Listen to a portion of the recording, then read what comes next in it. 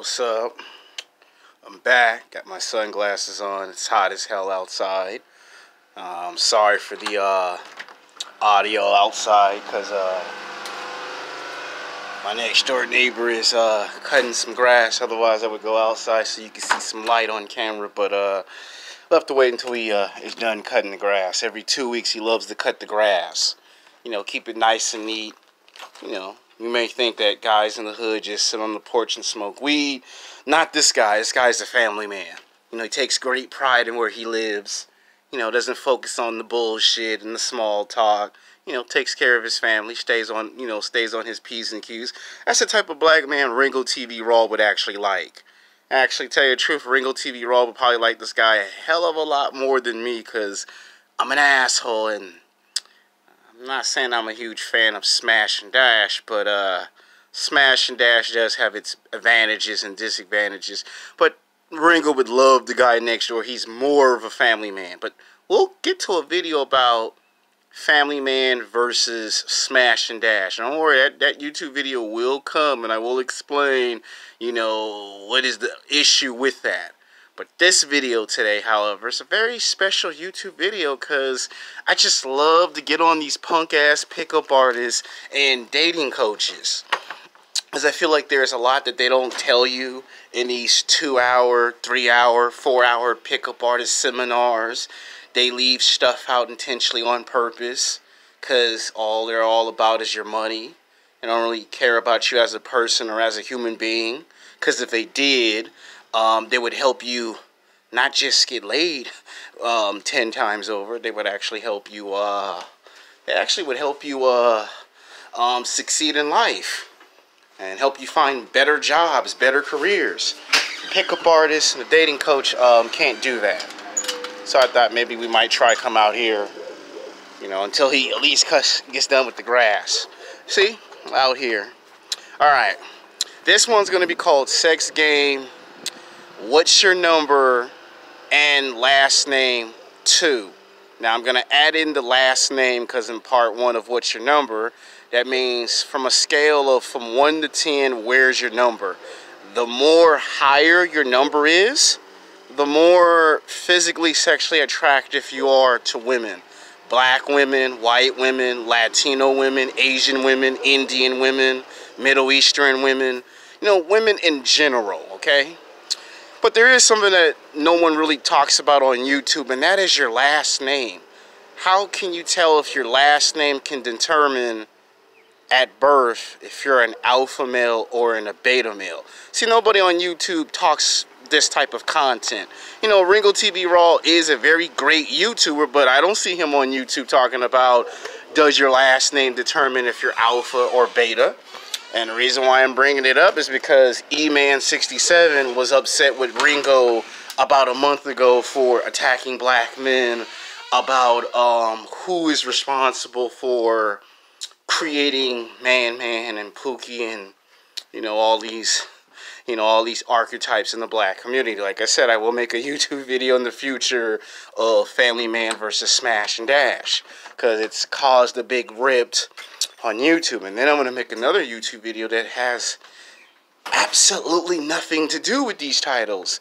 I've noticed O'Shea Duke Jackson and uh, another gentleman, Donovan Sharpe, um, it seems like they're going head to head in these videos. Like they're not mentioning each other's names. They're not insinuating each other in the videos. But I, I'm sure O'Shea reads the comments. I'm sure Donovan Sharpe reached the comments. I'm gonna have to make a YouTube video called Jealous Ass YouTubers because uh that's another thing I see in the manosphere. That's why I never have ever, as an asshole, have never considered myself a part of the manosphere. I never liked it in the first place. Um, because there were too many personalities, too many people trying to get their hands in the cookie jar, and you could never tell who was real and who was fake in the manosphere. Like Angry Man, you knew he was a real motherfucker because he just had he just had that conviction about him. He was serious. And when I heard he got betrayed, you know, I, I kind of had a feeling he was going to get stabbed in the back. I didn't know when, but I knew he would get stabbed in the back. I didn't suspect it would be, you know, Ice Cube wannabe, but uh, yeah. And then you had the issue with um, Media City Network. You know, one minute him and be Ice Cube are friends. Next minute, stab him in the back. Um, same thing with Steve, the motherfucking Dean Williams. That's what I call Steve Dean Dean Williams when he partners up with wannabe Ice Cube. Um, I say wannabe because he's wannabe Ice Cube. You know, and, and then they hear what happened to Donovan Sharpe. I actually like Donovan Sharpe's content. And when he made a video saying that he lied, that he doesn't get paid by Rich V, I know who Rich V is. I've seen some of his content. All I gotta say is, Solo TV84, you better grow eyes in the back of your head, okay? Because uh, you be buddy-buddy with wannabe Ice Cube one too many times, and maybe two or three, four years down the road when you ain't paying attention, and you blow up real super bigger than what you are on YouTube, want to be Ice Cube, you'd be mad and jealous and stab you in the back. That's why Tommy Sotomayor said something that no one can refute. And that is, like, Tommy is enjoying life and moving to the next level, want to be Ice Cube is still in Poland, still trying to finish medical school and become a doctor. Well, by the way, want to be Ice Cube, why is it taking you such a long time uh, uh, to uh, to finish medical school? I mean, I, I, thought you would have been finished a long time ago. Yeah, I'm talking shit. You you did my man Donovan Sharpe wrong. Uh, yeah, it's not good. Now on to the video. Now, from a scale from 1 to 10, what number do you rank? If you're a 4, you, you're what they call, if you're a negative one or a negative two, you're going to have a hard time getting women's attention. We call one and two, we don't call them one and two in our profession. We call it negative one and negative two. Now, if you're a three and a four, we or a five, we call that a work in progress, meaning you're going to have to do a whole lot of self improvement if you want to physically, sexually attract women. Now, if you're a 6, a 6.5, or a 7, you're what they call average at best. You might be below average or you might be slightly average. Number 7 is you're actually average for physically, sexually attraction.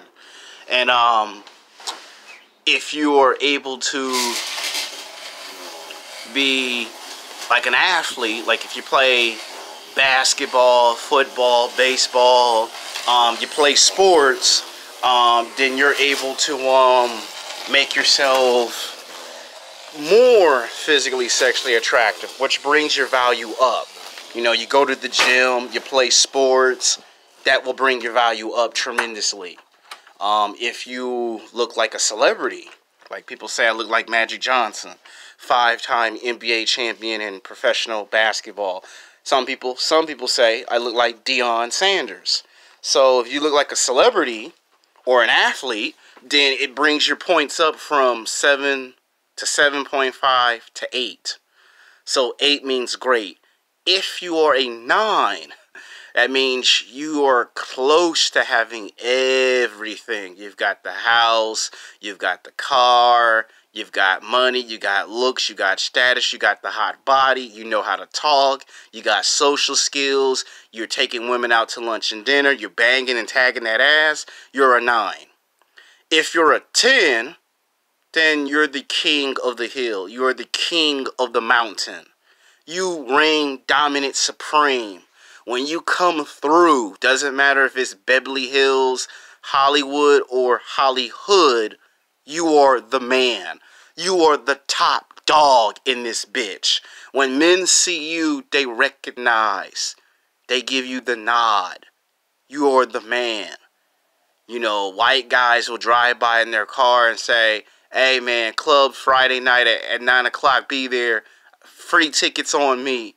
You command respect. Not demand respect, command respect. There's a big major difference between the two words. You command respect. Um, let me see what else. Um, little kids look up to you like you're a superhero from the Marvel Cinematic Universe. You know, little kids think you're a superhero. Um, women just, when they see you, they just can't wait to be in your presence. You know, when a woman see you, she can't wait to just walk up and show you her ass, her breasts. You know, so And then we're going to talk about last names. Now, they don't tell you this in high school and college, and they don't tell you this in the real world. I mean, if they do, there's a few people who do.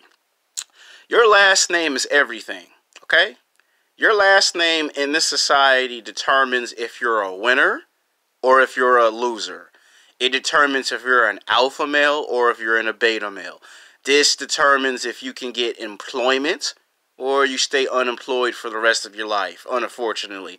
This determines if you can translate a job into a career from being average to being above average. This determines if you can get beautiful women from every region. I'm talking about you can get women from the United States, outside United States. You can get women as high class, middle class, low class. You can get all 31 flavors of Baskin Robbins ice cream. Yes, damn it, I said it. 31 flavors of Baskin Robbins ice cream. It's actually 32 flavors, but my point is you can get all the flavors of Baskin Robbins ice cream.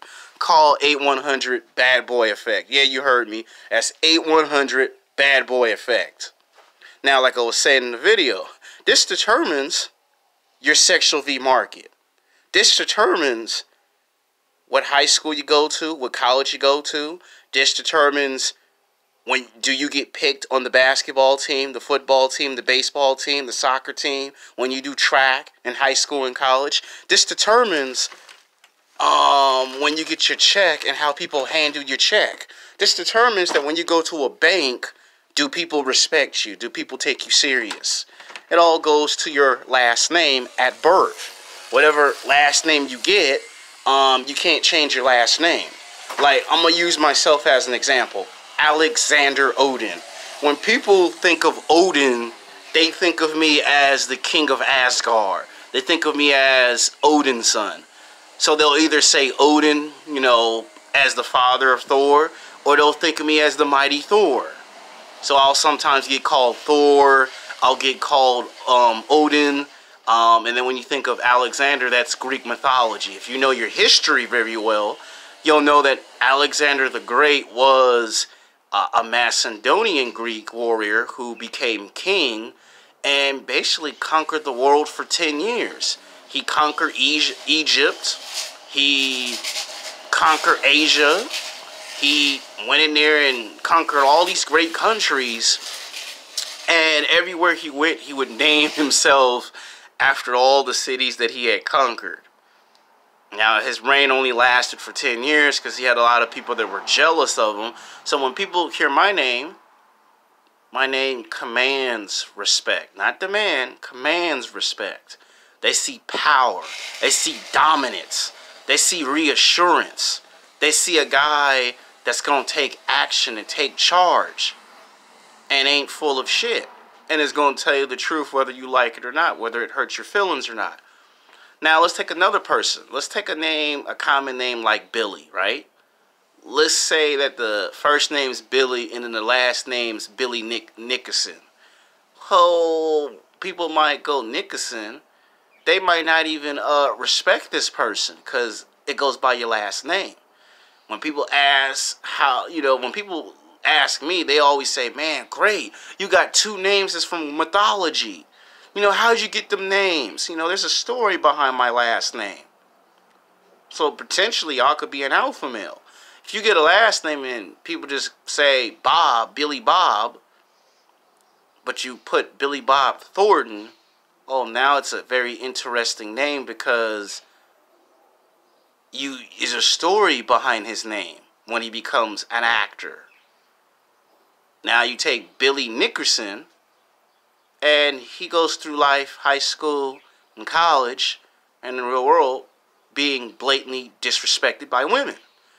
Now you take me, and I hardly ever get disrespected by women. Now I'm not saying I have never have. I mean I have because I've told you stories on my old YouTube channels how I always got rejected in high school. Got rejected in high school for four years. And even when it got to my junior and senior year, the only reason why I was getting attention from women was because of my last name. So I thought about myself. I said, if I ever made a part two of What's Your Number, I would probably throw in the last name and add some new bonus material. This is stuff that pickup artists and dating coaches are never going to tell you in two hour, three hour, four hour seminars. Because there's some gutless cowards. At least 90% of them are. So it ain't just what's your number. So, like I said, if you're a negative one or a negative two, you're probably going to end up joining MGTOW if you're a negative one or a negative two. If you're a three, a four, and a five, you're what they call a working progress. That means you need a whole lot of self improvement in all seven to eight categories money, looks, status, um, social skills, um, fitness, um, learning how to dress up in clothes, um, learning how to fight. I made YouTube videos called The Fight Game. Learn how to fight. You, you, you got to, you know, get a job, you know, get a car, get an apartment, save money. You're going to have to learn all seven to eight categories if you're a three, a four, and a five. That's called working progress. If you're a six, a 6.5, a seven, you're in the category of below average, average, and average at best. So six would be below average, 6.5 would be slightly average, and 7 to 7.5 would be average at best. If you play sports and you work out and you look like a basketball player or a football player or a celebrity, then you go up to an 8 to an 8.5. If you're a 9, you're very close to um you're very close to um having everything put together. That means you you're taking women out to lunch and dinner and you bagging and you tagging that ass. Now, that doesn't mean that because I said that if you're a three, a four, and a five, that don't mean you don't get sex. Uh, uh, that means you're a work in progress. Now, if you're a six, 6.5, a 7, and a 7.5, an 8, and an 8.5, you can get laid. Like, you can. You're just not going to be having sex with women that are supermodels fitness models and booty models unless you are an 8 to 8.5. You got to be in my range to uh, even make the attempt to try to go after someone of the likings of Scarlett Johansson or Jennifer Lawrence. Now, if you're between a 6 and a 7 to a 7.5, you're eligible to get women that are probably the same level of attraction of you or probably under meaning fat women you know women that, that ain't nobody really uh, uh, asking out to lunch and dinner. That's what you become eligible for. Negative one and negative two. The reason why i say negative one and negative two is a nice way of saying you're an incel. So that's what negative one and negative two mean. If you're a three a four and a five you're called a work in progress if you're a 6, 6.5, a 7, a 7.5, you do, you're doing pretty okay average at best. If you're an 8 to an 8.5, you look like a celebrity to a lot of people. Now, that don't mean you're not going to get rejected because you are. Every now and then you're going to get rejected because every now and then I get rejected. Sometimes those are good rejections. Sometimes they're bad rejections. Sometimes they're they're both. They're good and they're bad rejections. But probably gonna make a future video about that. And if you're a nine, that means you you you're doing very you're doing better than expected. If you're a ten, you're the top dog. You're the king of the hill. You're the king of the mountain. It means you got everyone respecting you. Young and old, black or white, everyone men, women, children, everyone looks up to you. That's what a 10 is. It's like wearing the heavyweight championship belt in professional boxing. I'm not going to go with professional wrestling because you know wrestling suck right now. So I'm going to go with boxing. You're the heavyweight champion of professional boxing. So that's what a uh, 10 is. And let's see. Your last name, yeah, your last name will determine if a woman will marry you and have your last name. That will determine that's how you will find out if you're an alpha male or an beta male. That's a nice way of saying if you're a man or a boy. That's how it goes in the society. Now, the reason why I brought up what is your number and then your last name is because pickup artists and dating coaches, they don't talk about from a scale from 1 to 10. Now, the same system that I'm using for men, you could you could reverse it, flip it, and turn it around and use all that I just explained in this video and use the same concept from women. So the higher your number is, the more physically sexually attractive you are to a woman. The lower your number is, the less physically sexually attractive you are to most women. So that's why I said anything that adds value to your number makes you graduate.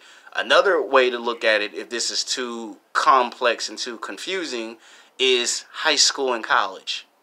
Remember when the teacher gave you a syllabus, and in the syllabus, um, it stated the rules to get to get an A, right? You know, it started off with, I think it started off with 95 to 100% was an A, but then they changed it to 90. So if it was 90%, you got an A. You got 80%, that was a B. You got 70%, that was a C. And then if you um got a D, that was 60%. Anything below 50% was a fail. So I think you should think of sexual attraction as a cross between what I just said and the combination of going to school. Because if you really think about it, if you get 90% that in sex and dating, that would actually be a uh, that would actually be a an, uh, that would be an A if you're a 10. If you were a 9, then that would probably be a B. And if you were like an 8 or a 7, you would probably have a B plus to a C plus. And if you were stuck in the uh, the, the, the, the, the 6 range, you probably would be at a D. And if you were at the uh, the three, negative one, negative two, and then there's the three and the four and the five, you'd probably be between a D minus and a fail. Or some in college would refer to it as a zero. You you didn't do shit. So you would probably look at it from that concept. So yeah. So now some people might say, what about if I get older, does my number increase? You could use money, you could use status to increase your number you could go from a 5 to a 10. I've heard stories of it, but it's very hard to do because you got to do self improvement and you got to put in the work. The highest anyone ever gets to is probably a 7 or an 8. 9, it seems like a lot of people crash and burn at 9. So when someone say try to get to 10 out of 10, it's usually hard for them to, you know, become the heavyweight champion because there's politics, which I'll